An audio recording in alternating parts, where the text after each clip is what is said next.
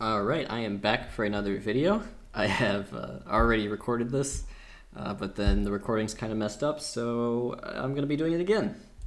Uh, good news is I've had some practice, and now it'll probably be better than the original video. So uh, today's sort of theme or topic is distinguishing what makes a good relief pitcher and what makes a good starting pitcher.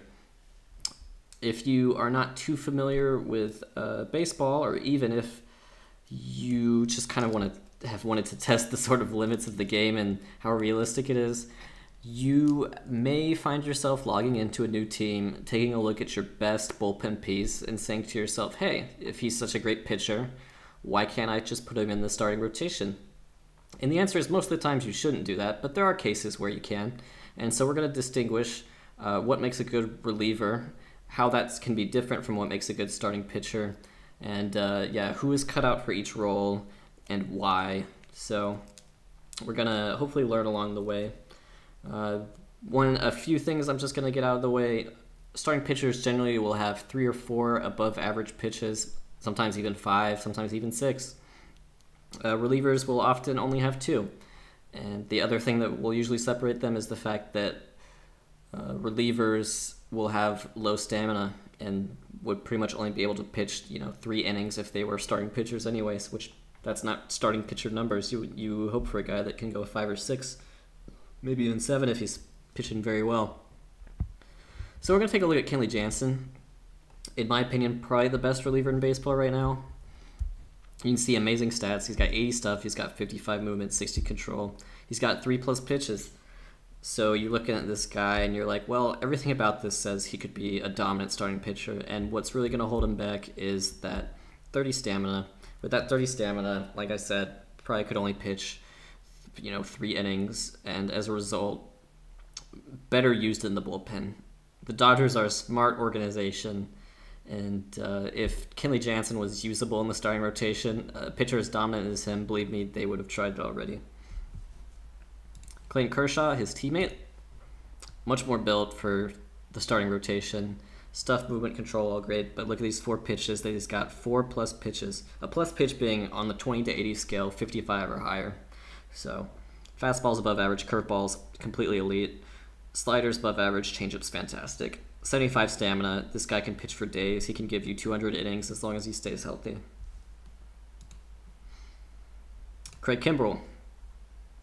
Craig Kimbrel, great, incredible stuff one thing you'll see, and if you watch baseball, you already know this, but many relievers are what I would call power pitchers. They have high stuff, they strike out a lot of hitters, and sometimes they sacrifice that for mediocre movement or often mediocre control. So you can see with 40 control here, Kimbrel walks a lot of hitters, or he's going to walk more hitters than average usually, but it just doesn't matter. He's just so overpowering with that 80 stuff and that 80 fastball and that 80 knuckle curve. Uh, but once again, not the type of guy you're going to want to use as a starting pitcher, 30 stamina, and really only two pitches. Two pitches works a lot better when you're pitching, you know, one inning per appearance than when you're pitching five. So he's much better suited as a closer. So actually, if you, you can actually change someone's position and see their ratings, if you didn't know that, so you can come up here and go to Actions, Set Position, and I'm going to set him to a starting pitcher. And we're going to see what happens you can see that he goes from like a four, I think it was like a four and a half star to like a three star, and even those three stars are misleading. He would probably perform like a one star pitcher or one and a half star. It just doesn't work, you know. and I hate to, um, I hate to disappoint, but he he is much better suited as someone who will be a closer or a late relief pitcher. And the last guy we're gonna look at is Jose Quintana. Once again, great stuff. Great movement, great control. This is just to sort of show. Sorry guys, I'm like burping right now. I'm trying to, I'm trying to like not do that into the mic. Uh, if so, if you hear a weird pause, that's what that is. Uh, fastball is good. Curveball is insane. Changeup is great. Uh, 75 stamina. Everything about Jose Quintana says he would be a great starting pitcher, and he is.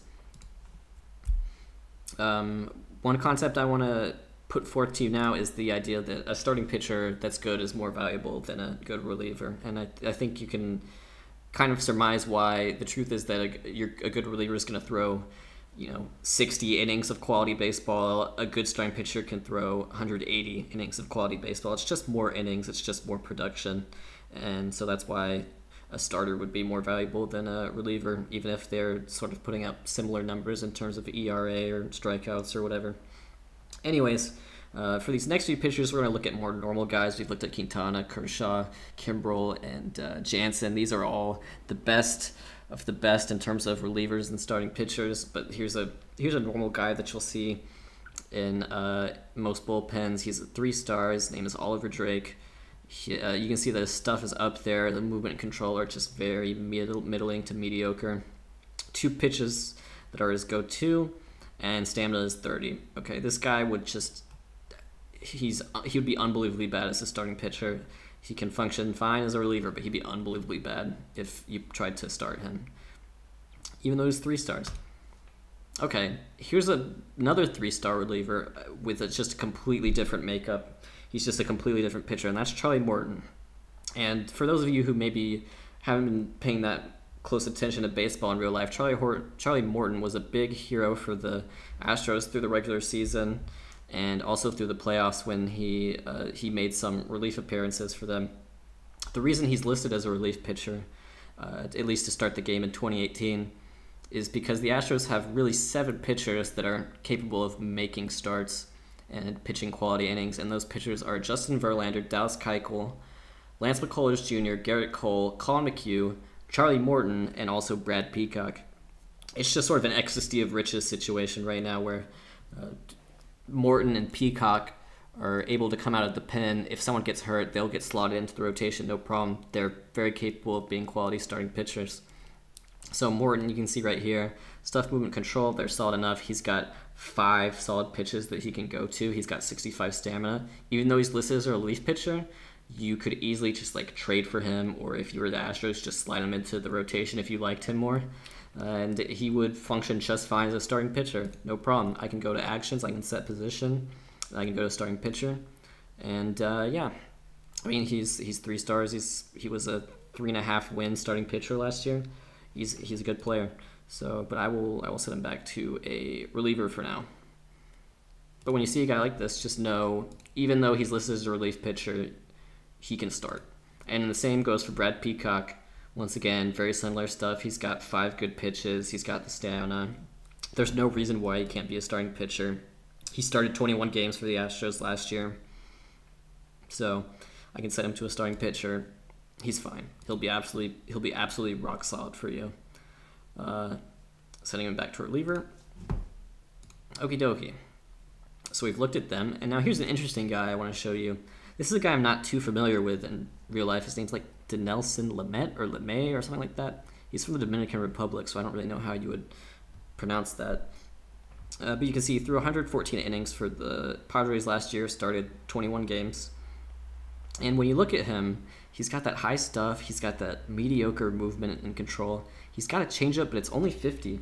It's only a 50 grade changeup, whereas that fastball and slider is just absolutely dominant. So if you were to go and set him to a reliever, you can see that he would actually be very, very good. So this is a guy where if he doesn't quite work out in the rotation, could have a very good career as a relief pitcher. He's got that four-star potential as a reliever, and that's fantastic. One thing you'll notice is sort of the effect that uh, setting up as a reliever versus a starting pitcher has on stuff. His stuff right now is 70, okay? Uh, but if you set him to reliever, it'll actually go up 10 and that's true for most players. The truth, and that's just sort of how out of the park baseball chooses to reflect the advantages you have of being a reliever, the advantages you have of throwing one inning versus five or six. You just get to put a little more oomph into the your uh, fastball, and you'll probably get more strikeouts. That's just what happens. You don't have to pace yourself as much. You, you're giving pretty much maximum effort every pitch as a reliever. So we'll send him back to a starting pitcher for now. But if you see a guy like this, just know uh, very would be very capable in the pen if they don't work out as a starting pitcher. This guy I want to look at right now is Casey Mize. Uh, Casey Mize. So we're gonna this next section of the video we're just gonna look at uh, a few draft prospects and we're gonna talk about how they project if they were to fulfill their potentials. Casey Mize is probably the most exciting player in this upcoming draft. He, if he's not selected first overall, he should be, um, but they they just may not select him. Whoever I can't remember which team's picking first, but um, if they don't pick him, it'll only just to be cheap out and not pay a big signing bonus for him. Anyways, uh, stuff, movement, control, project solid. He's got 55 stamina. That's perfectly acceptable for a starting pitcher. You're going to see relievers are going to often have 20, 30, 40 stamina. Starting pitchers, 55 is good. You know, 60, 70, those guys are really the workhorses. But 55 is completely fine if you're a starting pitcher. And he's projected to have three plus pitches, one of which being a dominant fastball, the 70 grade. Everything about him says he, if as long as he fulfills this potential, he would project to be starting rotation and not the bullpen.